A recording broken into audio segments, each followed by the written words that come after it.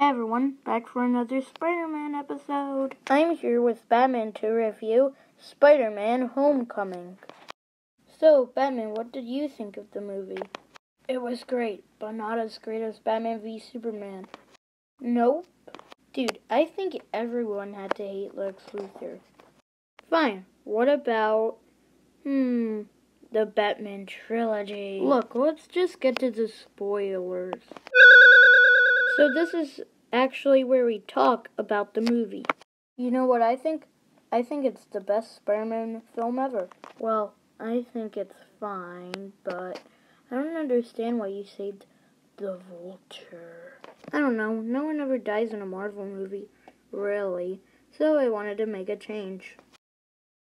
You know, life in plastic isn't that bad. Cigars are evil.